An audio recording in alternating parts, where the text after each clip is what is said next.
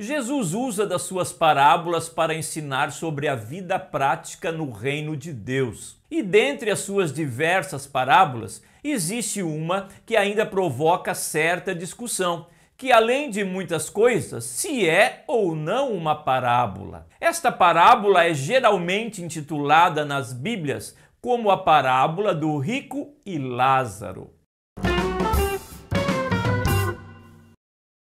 Olá, tudo bem com você? Sou Moisés Brasil e seja muito bem-vindo aqui no canal. Como sempre eu tenho falado, este canal tem a preocupação de levar até você muitos estudos sobre a Bíblia Sagrada, sobre a teologia e sobre a vida cristã. E para você não perder de vista esse canal, se você é novo por aqui, é muito importante você deixar o seu gostei, o seu like, se inscrever no canal e também clicar no sininho das notificações. Vídeos novos todas as segundas e quintas-feiras às 7 horas da manhã. E não se esqueça também de compartilhar este vídeo com outras pessoas e o seu comentário é muito importante. Então, deixe nos comentários a sua crítica, a sua opinião, suas perguntas, sua sugestão de vídeo e até mesmo um acréscimo ao tema desta parábola de Jesus. Dito isto, vamos ao tema do vídeo, a parábola do rico e Lázaro.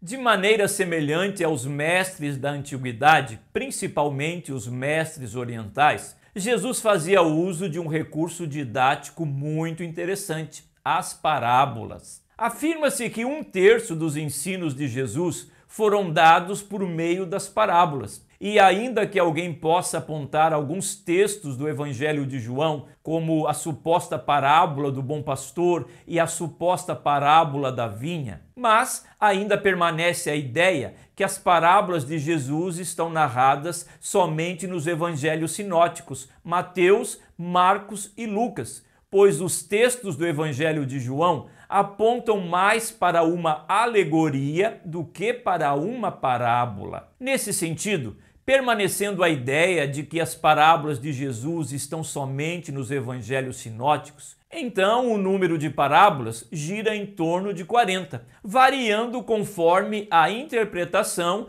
dos diversos eruditos da Bíblia Sagrada. Dentre as parábolas, a parábola do rico e Lázaro, narrada unicamente no Evangelho de Lucas, é uma das mais discutidas parábolas de Jesus. Primeiramente, a discussão se dá em virtude se o texto é ou não uma parábola. Além disso, o texto ainda apresenta elementos como Hades, seio de Abraão, comunicação entre aqueles que já morreram, estado de consciência plena, abismo entre os dois ambientes, etc. Enfim, esse texto do Evangelho de Lucas apresenta algumas dificuldades em sua interpretação.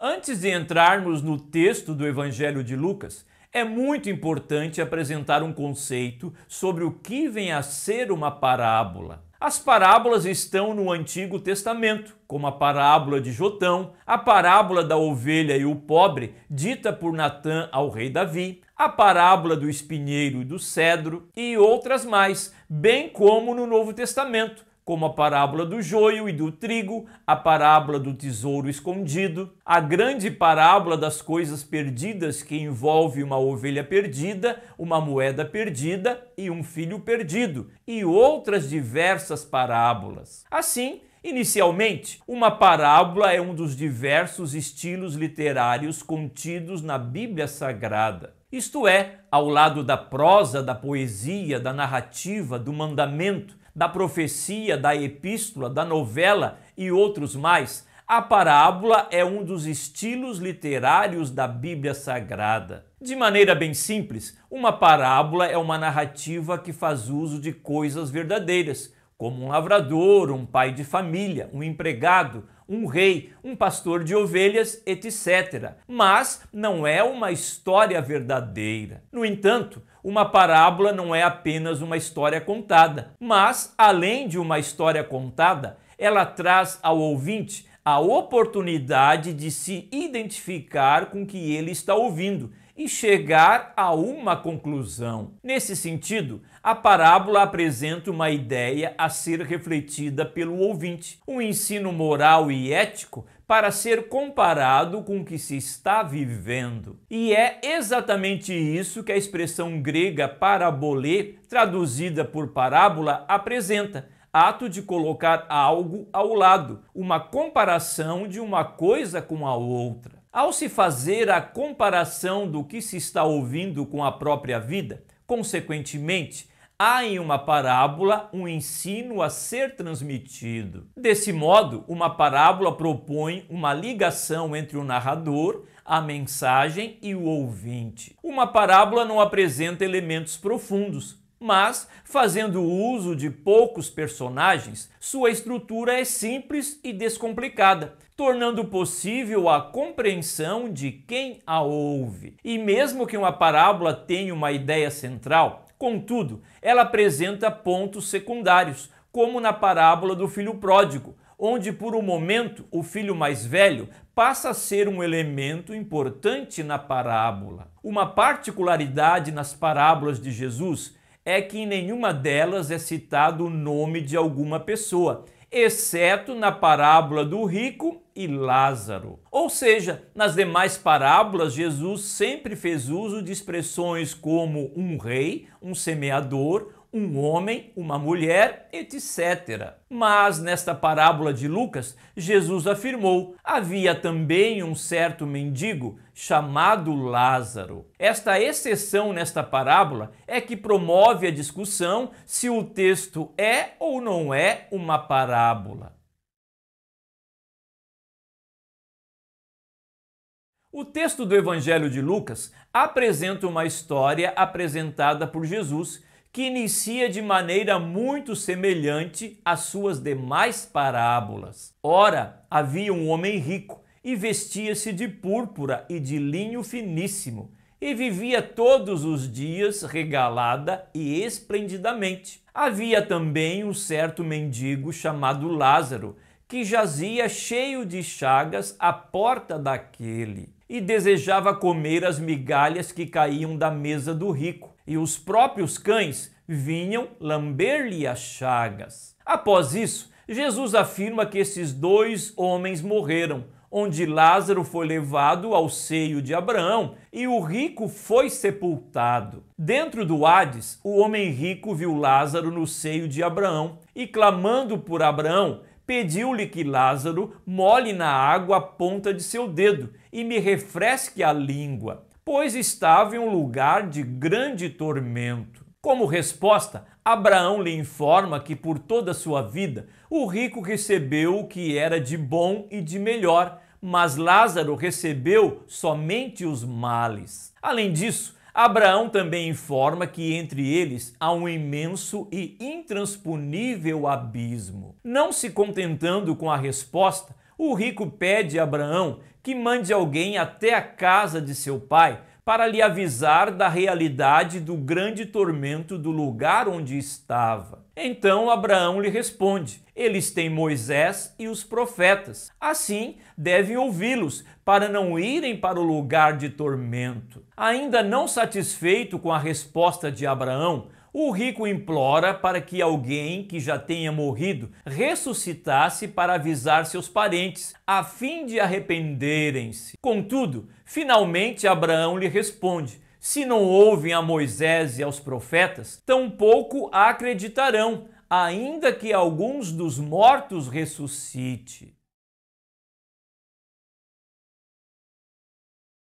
Como já foi apontado, esse texto, que é intitulado em algumas Bíblias como a parábola do rico e Lázaro, traz algumas discussões, principalmente sobre se ele é ou não uma parábola. Esta discussão é em virtude de Jesus citar o nome de um dos personagens da parábola, Lázaro. Logo, se o texto não é uma parábola, então é uma narrativa real de um fato acontecido. Assim, abrindo porta para a formulação de doutrinas bíblicas a partir desta narrativa. Contudo, embora apresente a exceção da citação de um nome próprio, a maioria dos intérpretes do Novo Testamento afirma que esse texto é uma parábola de Jesus. Ao analisarmos esta parábola, precisamos entender que ela está inserida dentro de um contexto. Isto é, o texto segue após a parábola do mordomo infiel e da repreensão de Jesus aos fariseus,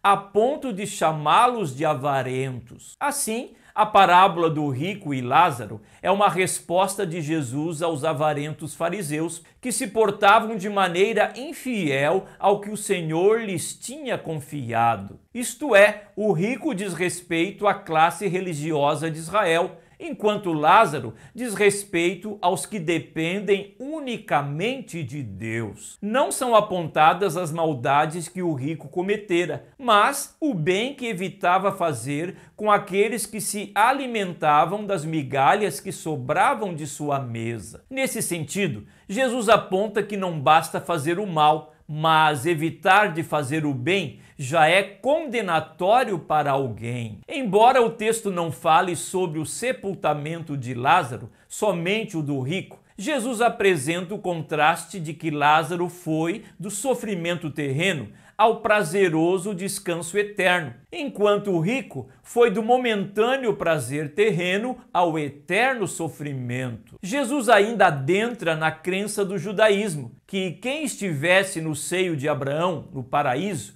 ou no Hades, lugar de tormento, poderia ter a visão um do outro. Acreditavam também na existência de um estado intermediário, antes da condenação eterna, onde era possível já se ter noção do paraíso eterno ou do sofrimento eterno. Mas, mesmo em um estado intermediário, já existia um intransponível e grande abismo entre o seio de Abraão e o lugar de sofrimento, como o pedido desesperado do homem rico que suplica que Abraão mande à casa do seu pai alguém para avisar seus irmãos do tormento eterno. Contudo, Abraão informa que na vida terrena eles têm a Moisés e os profetas. Ou seja, enquanto eles estão na vida terrena, possuem a palavra de Deus para lhes advertirem da realidade da vida eterna e do sofrimento eterno. É nítido que Jesus está indiretamente apontando para ele mesmo, pois ele é o cumprimento de Moisés, a lei e dos profetas. Em outras palavras, Jesus é o caminho para a vida eterna. Como pedido final, o homem rico pede a possibilidade da ressurreição de alguém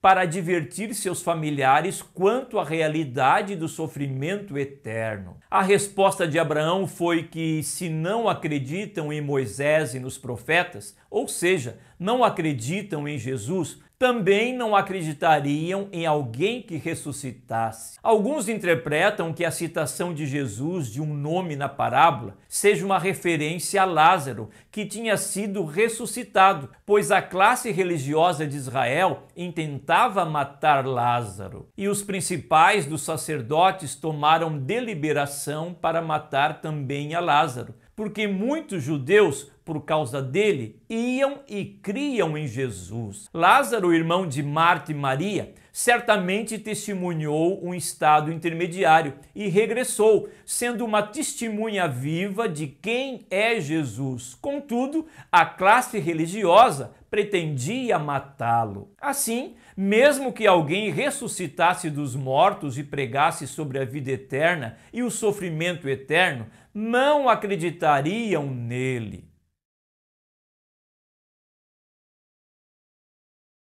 Para conhecer mais sobre as parábolas e demais elementos literários da Bíblia Sagrada, bem como aprender mais sobre a interpretação bíblica, Conheça a obra A Espiral Hermenêutica, uma nova abordagem à interpretação bíblica. E a outra obra, Introdução à Interpretação Bíblica. São duas obras com profundidade, apresentando diversos aspectos da interpretação bíblica, da hermenêutica bíblica. Os links para você conhecer cada uma destas obras com mais detalhes e saber valores e condições de pagamento estão logo aqui abaixo na descrição do vídeo. Se você quiser, você pode ter em mãos o texto desse vídeo, um estudo bíblico no formato PDF. Para isso, faça uma assinatura do canal. Mais informações sobre como fazer assinatura clique logo aqui abaixo do vídeo no botão Seja Membro. Muito obrigado por sua preciosa e abençoadora audiência. Um abraço e até um próximo vídeo.